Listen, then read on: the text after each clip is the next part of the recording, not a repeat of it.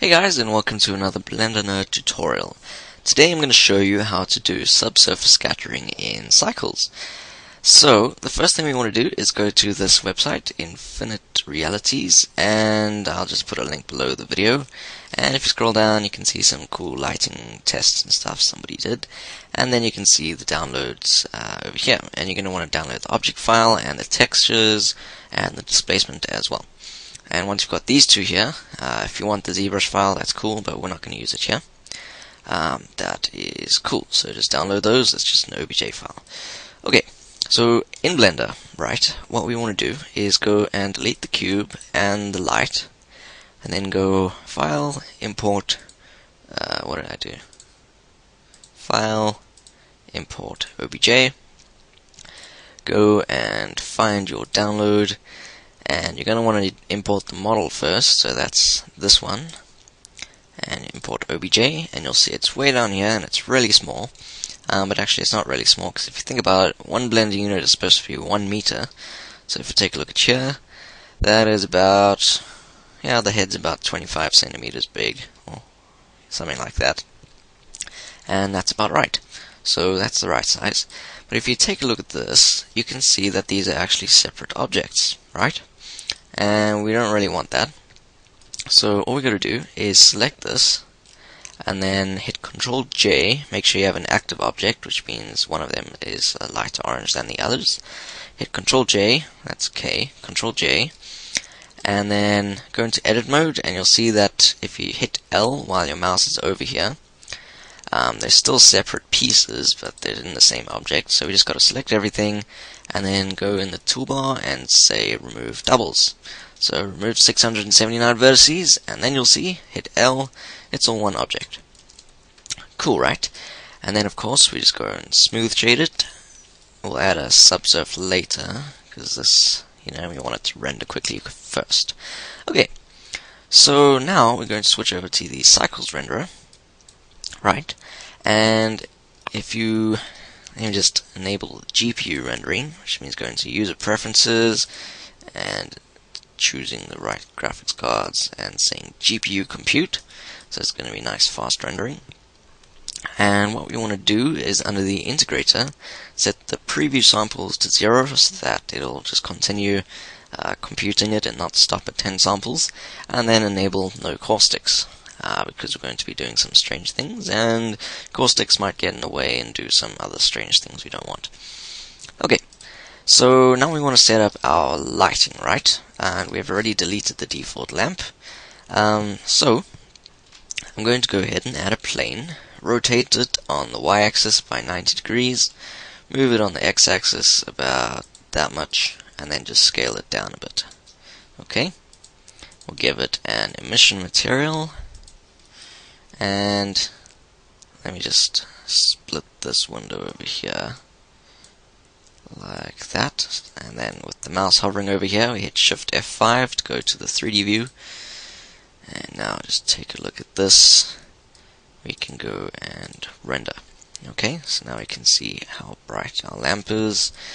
We're going to want to make this a lot brighter. Maybe 10 maybe even more later I want to move it back a bit. 20. Let's do 30. Okay. And then I'm going to go into top view quickly, duplicate this lamp, and just rotate it and put it behind his head there. Right. So lighting looks a bit like that. Okay. And we'll put the environment lighting off completely so it's black. Okay. And then we're going to throw in a little bit of bounce lighting, but we're not going to use an actual emitting plane for that. We're just going to use a normal plane.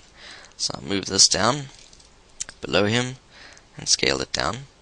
So you can see that it's now, because it's white, it's bouncing some light up onto him. We can move it a little further down so we don't see it in the camera. And then we'll do another one above him, a little bit bigger. So it's just filling in the shadows there. Okay, these aren't actually emitting planes, they're just diffuse default material, no material. Uh, we're just using them to bounce the light. So if we want to change the color of the bounce light, we can just give it a new material, and we'll just call this bounce. and then make this one bounce as well and we'll just make it a sort of orangey skin color kind of thing. Cool. Um, right, now to start texturing this guy. And you've already downloaded the model file which comes with the texture files and the displacement maps, so it's all a matter of connecting, connecting, connecting the dots. So I'll just name this skin, and we'll say use nodes, and leave it as diffuse for now. We say image texture, open up the image and it will be uh, download head that's not head head and firstly the color image which is here. And you can see it's got normal stuff that cycles can't use. And we say color map. Right? And there that's already looking pretty cool right? It's very nice. Okay and then we'll load in the bump map. So under displacement we say image texture. Open it up which is should be uh, I'm lost. Head and displacements. That's the other file you download. And then you can choose the smooth.uv not .uv smooth uv these are very slightly different. You probably won't notice much. Anyway open that up and you'll see it takes a little while to load it in because it's a TIFF image which is a little more high resolution and everything. And you should be able to see it doing something if you connect the right things. Color, not the alpha. And then, of course, it's completely hideous and ugly because um, it's way too strong. So to make it less strong, we go color, mix, and connect it to the bottom one. So then this fact value controls the strength. On 0, it's not strong. On 1, ugh. So we're going to put it on 0.02, and you'll hardly notice that but if you just zoom in nicely, you will see a little bit of difference. And of course, in orthographic view, we get these funny wires showing through, so be wary of that. I'm actually going to change the view angle to 70 degrees. And yeah, so you'll just be able to notice the bump a little bit. It's not that strong, but it must be slight. Okay, now we're going to start with the subsurface scattering.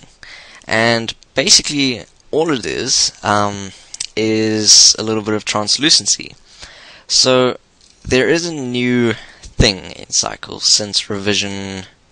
Uh, what was it? Since 46200. We're we're on 289 right now when I'm recording this. Um, so since 46200, there was a new node. If you go input uh, light path. It's not a new node, but a new little output. Ray length.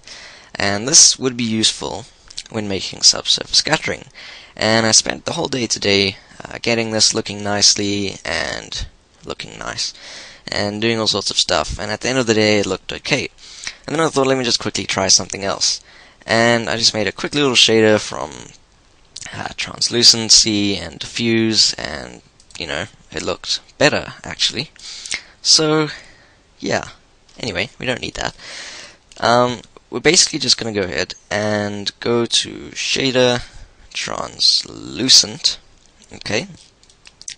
And if you're familiar with subsurface scattering in Blender Internal, you'll know that the scattering textures are a little bit different from the diffuse color texture. You get your epidermal and some other stuff that I never really got into. Um, so what we're going to do is, instead of just plugging this texture straight into the translucent one, we're going to go and go to color, yeah, color mix, choose soft light, put this on black, put the factor on 1, and you'll see it's a little more saturated and a little darker. And then we're going to go into the hue saturation values and turn up the saturation a little bit, like that, and then turn up the value a little bit as well. And then we'll plug that into the translucent one, and leave the diffuse one with the default correct color material. So you'll notice it looks like that. That's what the translucence looks like. Now, the strange thing is, how does this help us? This doesn't look like subsurface scattering. And basically, if you think of cycles physically, um, not cycles, a head. If you think of a head physically, the skin is what has the subsurface scattering and all the tissue underneath it and the blood and everything. That's what makes it look so nice. Um, but the light doesn't go into the head and bounce around the head and do the scattering inside the head because we have a brain and a skull. So no scattering really happens in the main part of the head because we have a skull. And basically what we can do is give this guy a skull and everything seems to work great. So, let's just quickly finish this off. If we go to shader, mix shader, and we can connect the diffuse and the translucent things together. And I think a value of, let's just put it on 1 for now. We can tweak it later. And let's give this guy a skull. Now it's not just a skull, it's basically all the stuff underneath. So let's cancel the render here and we're just going to go and do a little bit of modeling. So I'm going to duplicate this mesh so it's the same and I'm going to hide it. Then what I'm going to do is go into edit mode here. Now the skull and all the stuff underneath like the tissue and the bone and everything. Some parts don't have that, like the nose. The nose is like a bunch of skin and tissue and stuff, and the bone only really starts here, by the bridge of the nose. Well, the back of the bridge. And then the ear also doesn't have any bone in it, in this, you know, the flappy, sticky, outy part that you see. So, we're basically, well, and the mouth as well. We'll basically go and go ahead and select this edge loop here, around the ear, and hide it and then do the same on the other side and hide that and then we'll hover the mouse over here and hit L do the same thing for the ear on the other side and delete the vertices right and you can unhide these edge loops and then extrude it and merge at center okay same thing here extrude merge at center and then the same thing for the eyes. Now the eyes, you just gotta, well the eyelids, you gotta find the first edge loop that goes all the way around and hide it. Same thing for here. Hide it. Select these, delete them. Same thing.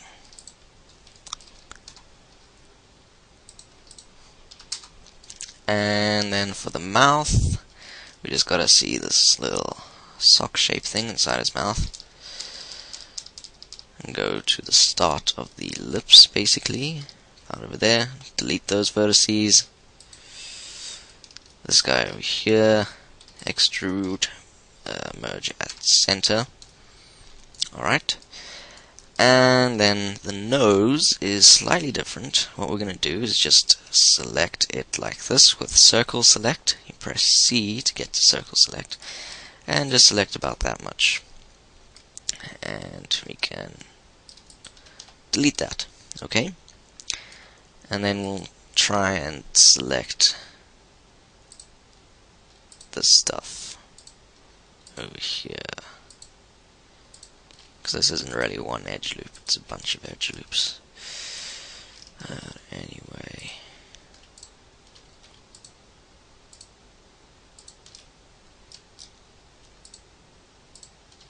Okay.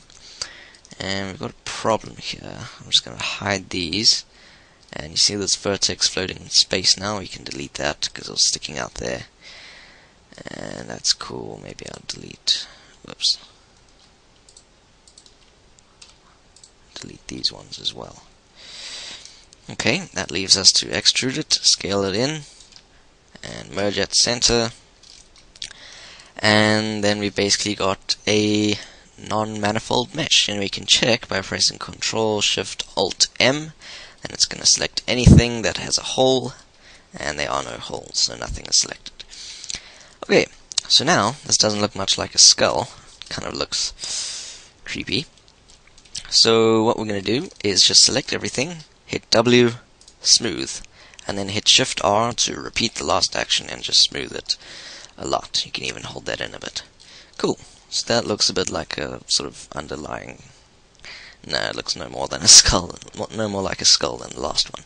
Anyway, so let's unhide the other mesh and then see what the problems are. Uh, this one is the right mesh, and this one is the skull. So we don't want anything to stick through here. Basically, all we need to do is go into edit mode, and then hit Alt S to scale along the normals like that. Maybe that's a bit much. I think we smoothed this a little too much. Yeah. In fact, don't smooth it at all.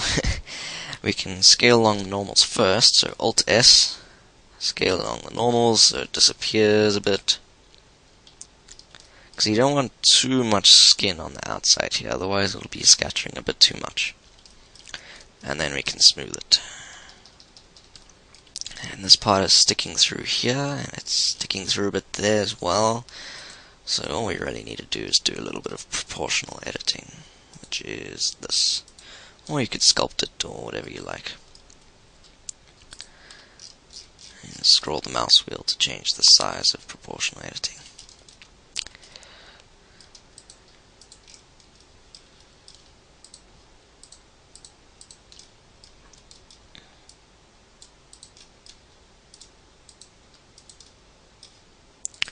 Okay.